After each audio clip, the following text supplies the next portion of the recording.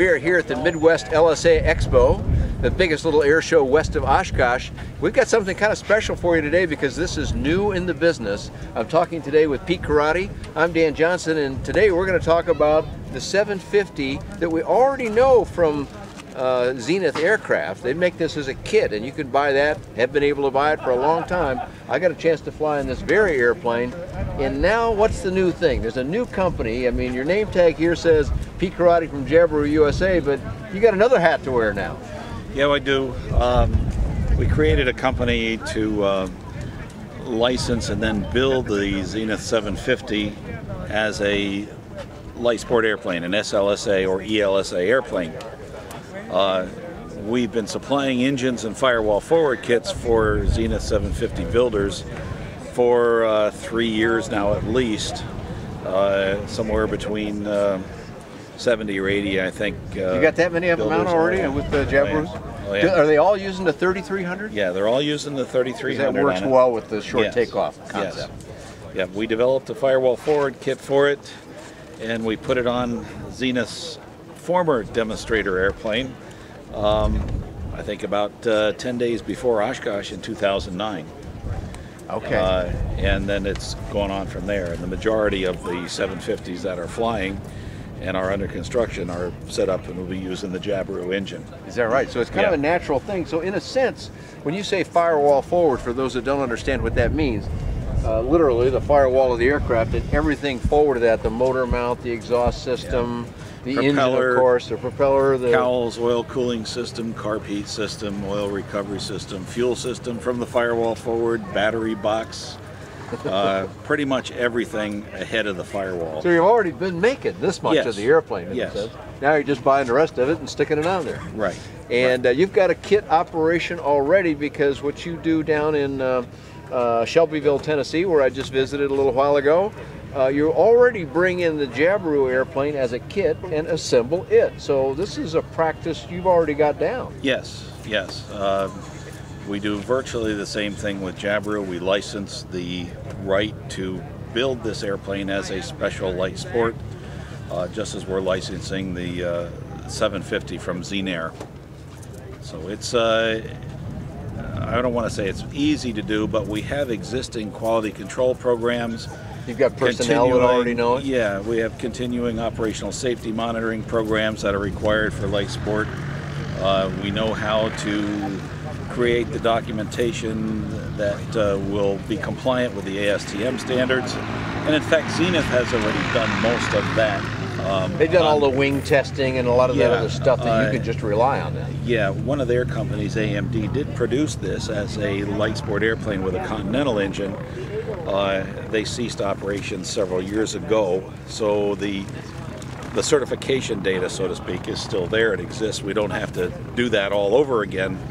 So we're able to uh, uh, do some documentation on the firewall forward. The engine already carries an ASTM uh, compliance uh, certificate.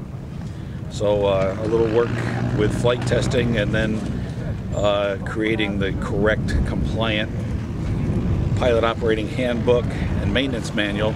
Those are two of the biggest tasks we have to do. The rest of the systems, since we do manufacture already two lines of light sport airplanes, um, we have those systems in place already. So you're kind of well versed on the process that it takes here, but let's clarify. You've been able to buy this airplane well, previously as the 701, which you can still buy from Zenith Aircraft. You've been able to buy the 750 with its larger cockpit, and its bubble doors, and, and now the big engine on it that gives it such impressive performance as a short takeoff and landing. You've been able to do all that as a kit, and it's a nice kit, and they've got it down very well, and lots of people have built them but not everybody wants to build. So the opportunity to get this as a special light sport aircraft ready to fly, uh, that's a that's a special opportunity.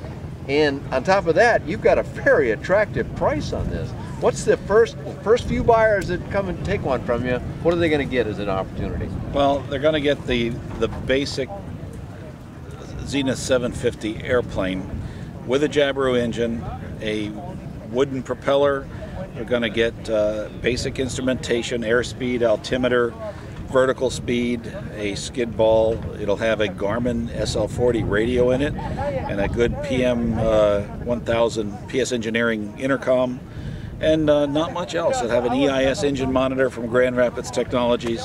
What else do you Uh, need it's to have a nice time on an basic airplane? airplane. Now, if you want to put some more stuff in it, you're willing to Yeah. do that for them, Yeah, right? we will be able to offer a, a Grand Rapids uh, glass panel EFIS complete with synthetic vision.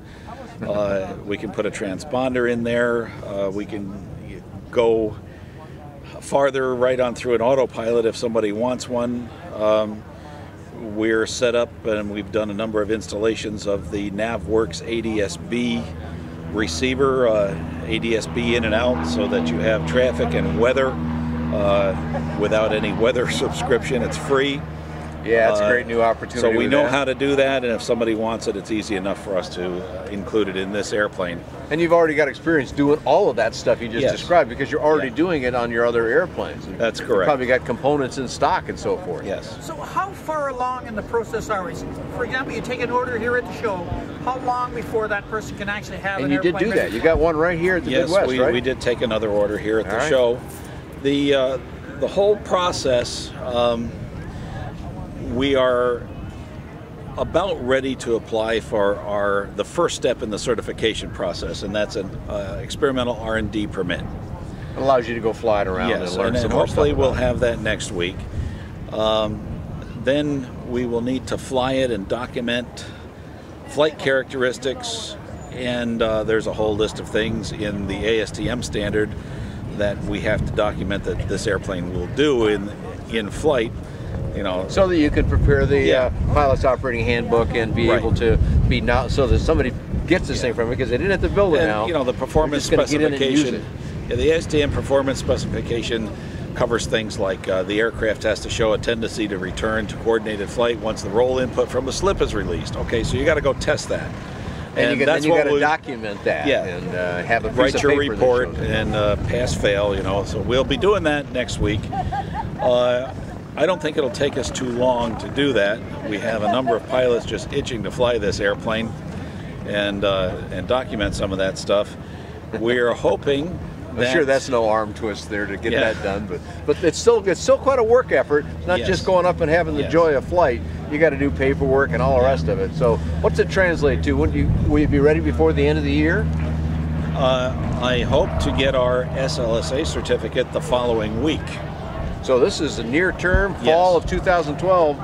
yes You'll be able to Uh, actually make a delivery of an airplane shortly thereafter. Okay, we we could deliver this first airplane we're building, but our plans are to keep that for a demo airplane. Uh, once we get our LSA certificate, then uh, and we'll total up our orders. Our components come from Zenair in Canada Ah, okay. because that's where they keep all the records for material certifications and I see. Okay. dates of acceptance and so forth that's required for ASTM. Uh, Zenith in Missouri does some of that, but but the true uh, uh, compliance has to come from Canada. So um, we will, uh, on about October 1st, total up the orders we have, and we'll order that bunch of components from Zenair. We'll have it very shortly thereafter, and we'll start manufacturing. Um, we're thinking mid-October, with the first airplane about six weeks beyond Six that. weeks out. So, before the end of the year, you're going to the put the first first of- airplanes in people's hands. Yes, around the 1st of December would be our thought. And then an airplane about every 10 to 12 days after that. Excellent. Well, I think we ought to go have a look inside this airplane a little bit and get another view of what the 750 is really going to be like. Course, we don't want to pull the hood off here because uh, they're going to go out and do some more demo flying. They've been doing a lot of it. And uh, but underneath this, we've seen in other videos the 3300 Jabiru. That's the 120 horsepower, six-cylinder engine. And what is the total weight of that engine? Well, the uh, 3300 weighs 181 pounds complete with the muffler, starter, alternator, all the accessories. I did get to fly with uh, Roger Dubbert, the uh, very qualified pilot who flies this, and it was just a joy. And of course, it does the whole short field and takeoff and landing thing that you expect, but it's so roomy inside. This is going to fit a lot of Americans who enjoy their hamburgers. Yeah. So let's what- put two American hamburger eaters into this airplane and see what we've got. Let's try that. All right. We have got two big beefy guys in there, and it doesn't look like there's any crampness there. You guys have got No, we're of not. room. We're not even touching. No. So uh, it didn't take a shoehorn either. It's actually entry into, there's always a technique getting into any airplane. Then this one, of course, is the same. But uh, once you've got a little bit of technique, a high wing airplane is particularly easy to do. So, because you basically turn around, sit down, and then pull the rest of yourself in the airplane. But once you're in this thing with these big bubble doors, which are all clear, I mean, the visibility in here is quite tremendous and upward because we've got a skylight above us. Uh, there, there's almost no blockage to being able to see whatever you want to see in here. Now, this particular one's got uh, quite a panel in it. This has the Dynon Skyview with that, uh, which can have synthetic vision, as you mentioned earlier, Pete, meaning you can mm -hmm. see what you, even if you can't see, you can still see what's ahead of you.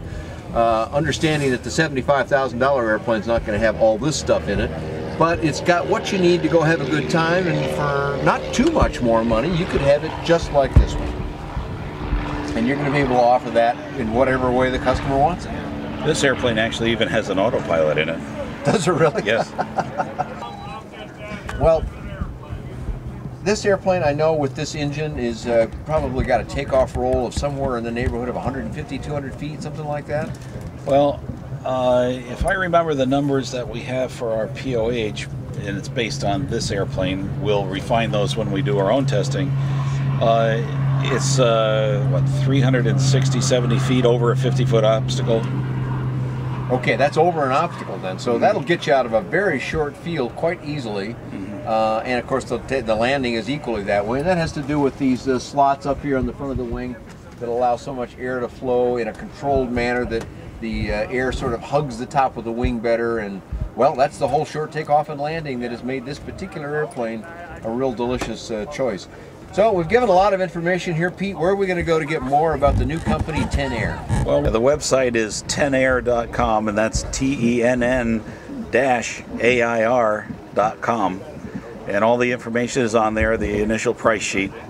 Um, we'll have a whole lot more information shortly when our first airplane flies. And you'll get pictures and your webmaster will put all that stuff up. And then later this year, in 2012, we're going to start seeing the first deliveries of this airplane. I've gotten a chance to fly this particular airplane, the one we're in, which has the exact configuration that Tenn-Air will be producing at the Zenith Aircraft facility. It was a real joy. You can find more about that on bydanjohnson.com or bydanjohnson.com. Thanks so much for watching today.